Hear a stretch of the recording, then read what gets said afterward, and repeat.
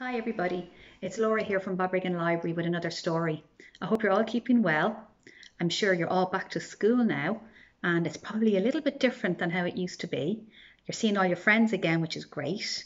And this is a really lovely story to read at the end of the day, maybe, while we can't hug.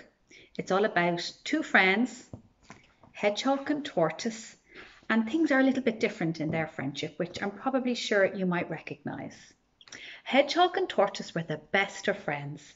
They wanted to give each other a great big hug, but they weren't allowed to touch.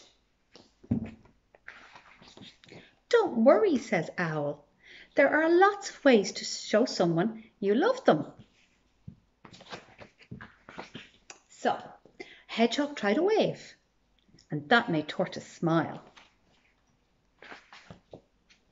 Tortoise made a funny face, and that made Hedgehog laugh. Hedgehog wrote a letter. That's a great idea. And Tortoise wrote one back. Isn't it great when you get a letter in the post? And when Tortoise did a little dance, Hedgehog joined in too. We love dancing.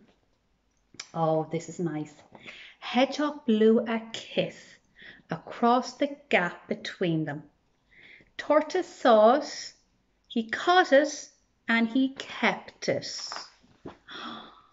And then he sent three back again. Oh, how nice. So Tortoise sang a song because he has a good voice, and Hedgehog played along because he's good at music.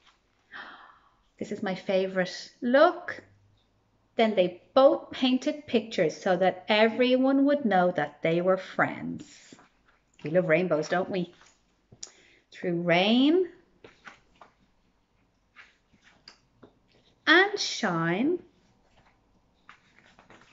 they could not touch, they could not hug, but they both knew that they were loved. Look at that lovely rainbow at the end. The end. That's a nice one. We like that. Have a nice day, everybody.